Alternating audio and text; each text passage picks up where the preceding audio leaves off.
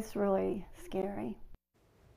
Residents across the metro have been trying to figure out what to do after getting property tax assessments that are sky high. They've gone up huge amounts. Now some county officials are taking early steps to help senior citizens keep them from having to pay more so they can stay in their homes. Those steps made possible by a new law passed by Missouri lawmakers, signed by the governor. Fox 4's Kevin Barry visited Platte County, where that conversation started today. He's joining us tonight. Kev. Yeah, John, Lauren, Platte County leaders are using a tool the state legislature gave them this past session to limit how much senior citizens have to pay in those property taxes. The hope is that by next year, it helps people like Frida Rhodes. When you're on one income and it's not very much, it, it's really rough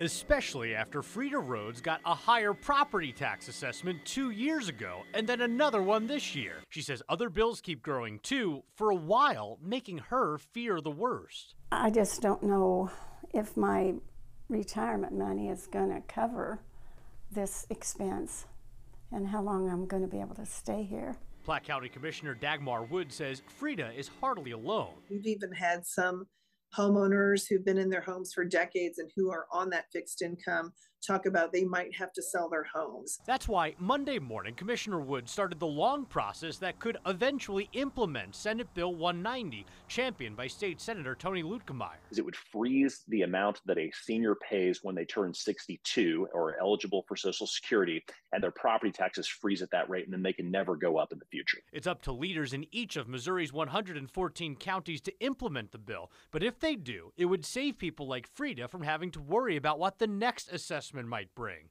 Right now, Platte County is putting a working group together to figure out how to create an application process for senior citizens. That could start in the next few months. We're getting our logistical ducks in a row so that when this does get passed, we are ready to hit the ground running. If all goes according to plan, Wood says residents like Frida would get their capped property tax bills in late 2024, knowing that that's the most they'll be asked to pay as long as they own their homes. It seems more doable. I'm not as frightened if my air conditioner goes out or my washing machine. Maybe I'll be able to save money through the year to accommodate those expenses. So that's up in Platte County, but Jackson County also started talking about potentially implementing that same bill just today.